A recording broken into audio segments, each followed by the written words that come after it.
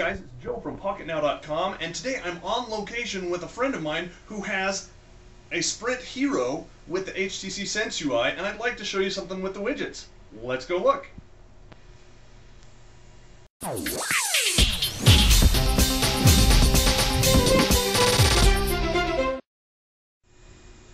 Okay, so phones that are running the HTC Sense UI, like the Hero here, have HTC widgets, and they just released some new ones. So let's long hold on the home screen and tap widgets.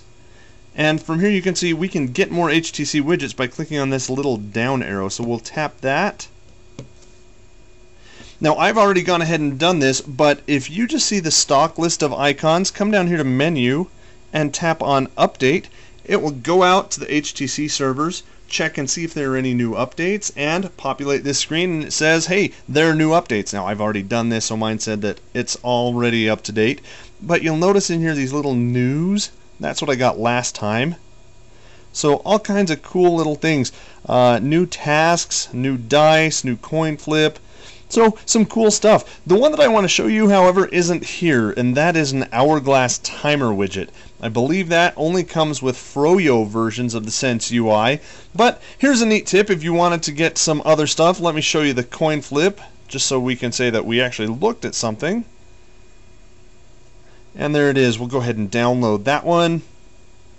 And it says my widget will be downloaded, and sure enough, it is downloading right there. We'll let that do it. Okay, and our download is complete. It took uh, about a minute, minute and a half to do over Sprint 3G. So we are now going to go back and put that on the home screen. So we're going to go back all the way, tap and hold, widget, and that should now be down here under coin flip. We can find it. Right there. It's called Coin by HTC. And there it is. It's a very basic widget. It just has a coin on the screen. Shake your phone to flip it. There you go. So this one is HTC. I guess that's tails. Flip again. And it's heads because it's got the Android. So, cool little widgets. I don't know if you really need to have this, but it's kind of fun to have anyway. And it's cool to see that HTC is continuing to update the widgets for Sense UI, and you can go out and download them relatively easily. So, if you think it's cool that HTC is updating their Sense UI widgets, go ahead and give this video a thumbs up. If you haven't already subscribed to our video channel, it's not too late. For a limited time only, only $19.95, you can do that. Click the uh, subscribe button.